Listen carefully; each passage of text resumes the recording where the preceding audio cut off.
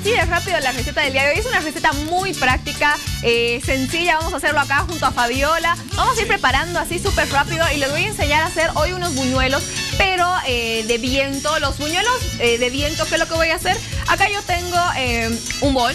Lo que voy a hacer es sacar, eh, bueno, vayan a comprar estos sobrecitos, que son los sobrecitos que vienen eh, de levadura fresca, no fresca, sino la levadura seca que van a encontrar de Cris. Y lo pueden encontrar en cualquier tienda, en cualquier supermercado. Y es una cucharada aproximadamente colmada. Y voy a verter completamente, directamente a un bol. Esto con agua tibia, que tengo acá aproximadamente una taza y media, pero está em, con una infusión de anís. Este es el anís, muchas personas tal vez no lo conozcan pero ahí muy común, muy tradicional acá en Bolivia. Entonces, esto nosotros hicimos una infusión, lo colamos y tengo esto de acá. Voy a agarrar y voy a hidratar mi toda mi levadura. Lo voy a dejar ahí adentro. Y voy a ir agregando azúcar. Tengo dos cucharadas de azúcar aproximadamente, colmaditas. Y voy a ir removiendo. En esta cantidad, ustedes van a usar... Eh, más adelante les voy a mostrar, tengo harina cantidad necesaria, aparte de dos tazas de harina que voy a poner en este momento. Y voy a ir removiendo porque mientras ustedes vayan haciendo, tal vez la mezcla eh, se les va haciendo más aguachenta, más agua, guanosa, porque van a usar las manos.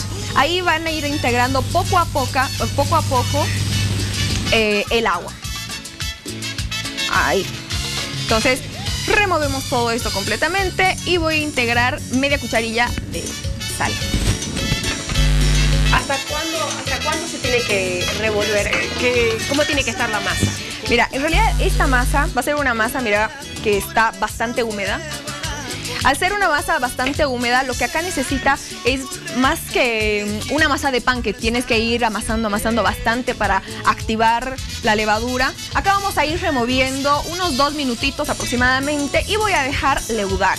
¿Qué significa leudar? Que duplique, triplique su tamaño y va a quedar perfecto. Eh, el agua que pusimos de anís es un agua eh, que está tibia, no vayan a poner agua fría, si no, no va a leudar va a tardar más tiempo. Y lo único que voy a hacer es, una vez que tenga agua de anís. Eh, no sí o sí, pero sí le da el toque, ese saborcito rico que tiene eh, los buñuelos. No es que sea así como que muy necesario, pero sí. Entonces, lo que voy a hacer es cubrir todo esto con plástico film. Si ustedes tienen en casa un, una, perdón, una bolsa negra, igual les va a ir muy bien y lo llevan afuera al patio, a un lugar donde esté con bastante sol. ¿Y ahí lo dejas reposar? Sí, lo dejamos reposar aproximadamente. Esto va a variar dependiendo de la región, el lugar donde ustedes estén. Una receta eh, que va a ir muy bien para eh, la, bueno, estos días de Todos Santos que ya se vienen. Lo, lo corté muy chiquito, sin importa. Ahí lo vamos a ir arreglando. Eh, no se puede. Bueno, ya, al fin. Sí, sácalo. ¿Lo saco y ponemos otro? Sí, ya. le voy a poner otro. Es como el Yurex que no encuentras ahí la puntita y entonces empiezas a buscar. Ahí. Ahí, ya, gracias. Ya, ahora sí. Ahí. lo agarras de un lado, yo del otro. Perfecto. Creo que es mejor así hacerlo con la mano a lo torpe a veces. Sí, ¿no? Ahí, sí. Ahí, listo, ¿ves? Ok. Mejor. Ok. Eh, si tiene microondas, sí. Si tiene microondas, yo lo llevo al microondas. Eh, ¿Con el plástico? Sí, con el ah, plástico. Ponen un minuto sin la masa. Pasado el minuto, va a calentar el microondas. Y es como que un tipcito que recién lo, lo empecé a descubrir y lo meten ahí adentro y ese calor va a generar que eh, vaya a crecer más, más rápido, vaya a leudar más fácil. Bien. Y acá yo tengo todavía, me falta todavía que vaya a leudar. Nosotros tenemos la receta del día de hoy, por favor, Fabi, Muy bien. ayudar. Señor director, empezamos con la receta. Tómele foto a la pantalla o empieza a escribir. Ok, inmediatamente empezamos con la receta. Lo que vamos a preparar son buñuelos de viento. Lo que necesita es una cucharada colmada de levadura seca Cris, dos tazas de harina, una taza y media de agua con infusión de anís, media cucharada de sal y dos cucharadas de azúcar. Además de harina extra con aceite, almíbar casero, una taza de azúcar, media taza de agua, una rama de canela y una cucharilla de semillas de anís. Ahora sí vamos a hacer el almíbar casero súper rápido. Eso yo lo voy a dejar leudar, todavía un poco más de tiempo Tengo acá eh, un aceite, aceite común. Ustedes pueden usar aceite Cris si quieren de oliva, eh, mucho más nutritivo aún. Eh, tengo acá mi aceite, si me lo pueden mostrar. Ya va calentando, voy a esperar a que vaya calentando. Voy a ir poniendo cucharita a cucharita. Pueden hacerlo igual esto con las manos, les voy a mostrar más adelante, pero no hay ningún problema. Esto tiene que estar caliente, tiene que ser un aceite caliente. O sea, cuando empiece a humear, mira, esto queda así. Ah. Y no es tan manipulable. Entonces vamos a poner una cucharita y va a quedar perfecto. Voy a esperar a que vaya calentando. Muy bien. Mira, voy a proceder acá a hacer la miel más rápido. Eh, hasta que vaya calentando el aceite. Súper fácil. Ah. Eh, acá una miel casera.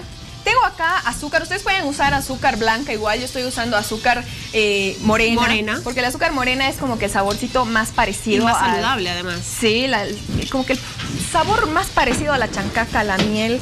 Esto ya estaba calentando, entonces se fundió súper rápido el azúcar. Le puse una ramita de canela, voy a hacer mi almíbar con qué. Tengo acá anís, ahí, ahora sí. Tengo anís, semillas de anís.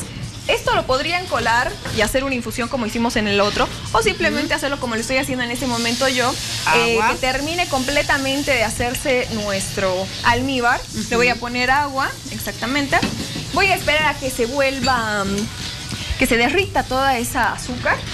Una vez que se derrite, eh, se va a ir creando, sí, se va a ir creando esa miel. Ya.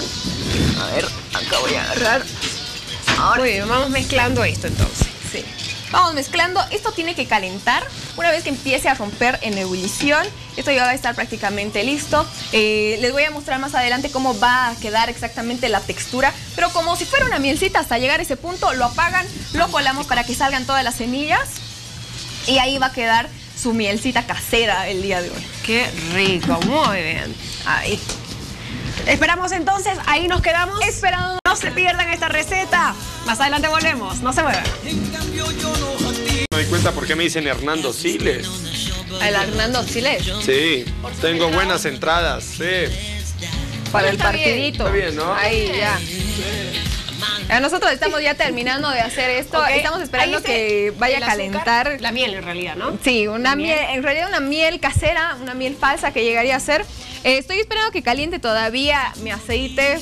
Está traicionera esta cocina, no está calentando mucho. Lo voy a poner igual. Pueden ustedes hacer con agua o sin, perdón, eh, con las manos o agarrar, si no son muy expertos, con dos cucharitas y bajan así.